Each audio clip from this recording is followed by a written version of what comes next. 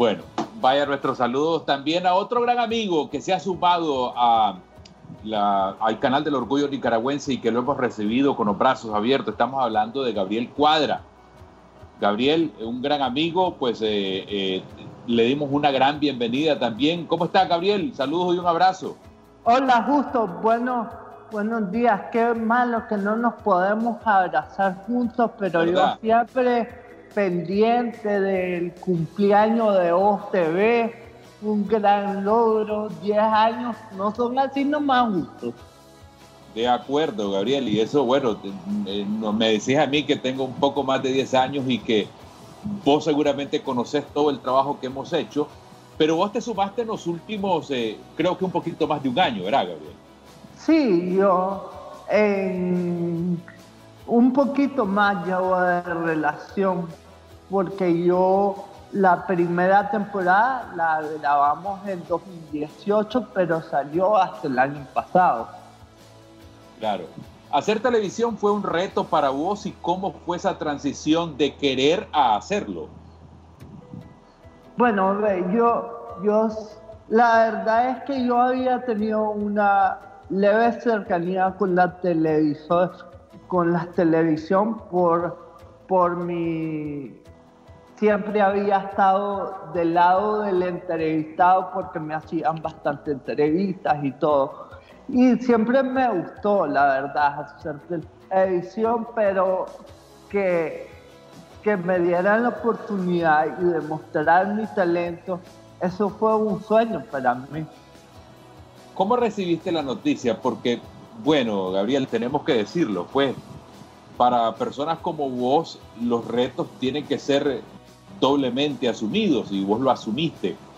Eh, ¿cómo, cómo, cómo, recibiste la noticia de que ibas a ser presentador de un programa que imagino que todo el tiempo lo soñaste, y lo pensaste y lo soñaste, hasta hacerlo realidad? ¿Cómo fue ese momento? ¿Cómo lo vivieron vos y tu familia, por ejemplo? Bueno, fue algo, algo muy emocionante para mí estar en una televisión y hacer un programa con las características que tiene, rompiendo barreras no es así nomás, ¿verdad? Porque también teníamos un reto. Este, yo creo y quiero decir que también se suma mucho a, a mi misión de vida, que es la sensibilización hacia todos en general de cara a las personas con discapacidad. Y estar en, haciendo un programa en televisión nacional fue una gran oportunidad para mí también. Este, eh, el momento se dio en una etapa que estaba un poco complicada. Este, a mí me habían cambiado de categoría, estábamos la primera temporada se, se, filmó y en eso comenzó todo lo de lo de abril de nuestro país, entonces fueron complicadas unas cosas. Y entonces yo termino de grabar y después no sé nada en la televisión y un día me llaman y me dicen, ve rompiendo barreras, ya va a salir al aire. Entonces para mí, este, eso fue una hermosa noticia que va a salir al aire rompiendo barreras y que el motivo de por qué lo estábamos haciendo, este, para sensibilizar a todas las personas, el programa, quiero decir que ha tenido una aceptación increíble. Yo, yo lo noto cuando salgo a la calle, cuando me escriben en mis redes, cuando me ponen comentarios de rompiendo barreras. Este, ¿Tenés más enamorada? Ahí vamos, más o menos. Y, y, la verdad, estar, estar con esa relación que tengo con vos, TV, yo me siento bien cómodo, te digo. El canal, la verdad es que es una familia, todos llevamos, los camarógrafos son impresionantes, es como me ayudan, la Margie Pozo, que fue una, que es mi mentora, profesora, está conmigo, a Yesenia Cortés y a doña Vivian Vanessa, que me dio la oportunidad de hacer este, este proyecto, ¿verdad? También. Gabriel, una cosa importante, vos mencionabas a todo el equipo de trabajo, desde camarógrafos, eh, la producción con Margin. Esto para todos y, el equipo es una novedad, o sea, nunca habíamos trabajado algo similar y representaba todo un reto. Desde cómo abordarte, desde cómo vos podías manejar las cámaras, desde cómo vos podías manejar tus, eh, tus presentaciones. Todo eso representó un reto para vos, pero también para todo el equipo del canal y vos lo hacías lo referías. Sí, sí. Es que lo que pasa es que yo siento que en el canal, el canal demostró que sí se puede, que las personas con discapacidad sí podemos trabajar. Y, es lo que yo también, de alguna manera, en otros proyectos y con Rompiendo Barreras, es lo que tratamos de probarle a la gente que no se necesita ir a Harvard para sacar un curso para incluir a personas con discapacidad en sus empresas.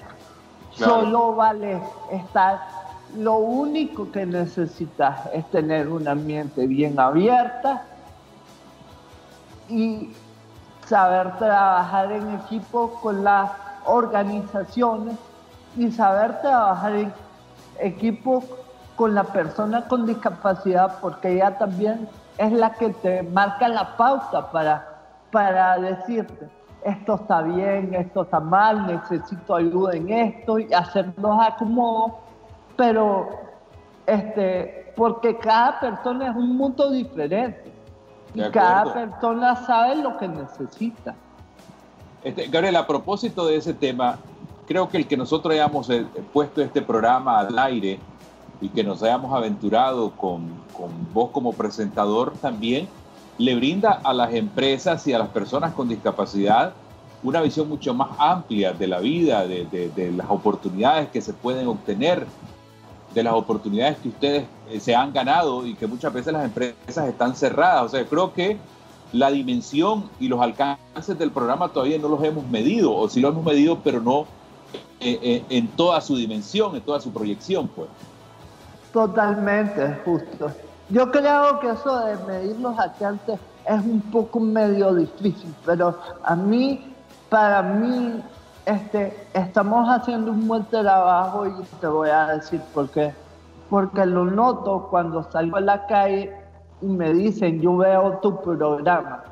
Con que una persona de cada familia ve este programa o algún empresario vea el programa, para mí el trabajo ya está hecho, porque lo que quiero, lo que queremos es abrirle la mente a las personas, abrirle la mente este, y que cambien su manera de ver a las personas con discapacidad, que no los vean como, que los vean, que no vean su discapacidad, que vean sus capacidades que tienen para hacer un trabajo igual al que vos haces o al que hace un gerente.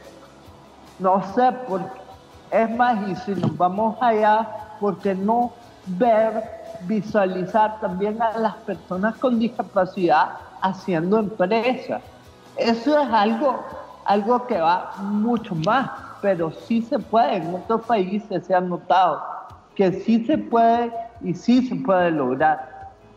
Bueno, Gabriel, vaya nuevamente un abrazo de nuestra parte y que, bueno, muy pronto, Dios mediante, nos podamos dar ese abrazo y, podamos encontrarnos nuevamente. Hace, hace falta, hace falta y Dios mediante va a ocurrir pronto, pues, que, que nos vamos a poder encontrar. Saludos nuevamente, Gabriel. Gracias, Justo. Saludos a todos en Voz TV y felicidades por esos 10 años. Vamos por 10 años más. No te pudimos guardar el, el queque, pero ya sabes que en tu nombre nos lo comimos, ¿viste? También. ok, te lo comiste vos, supongo. Sí, así es. A eso no le puedo decir que no. Gracias, Gabriel. Un abrazo. Vamos a hacer una pausa y ya regresamos con mucho más. Saludos. Saludos.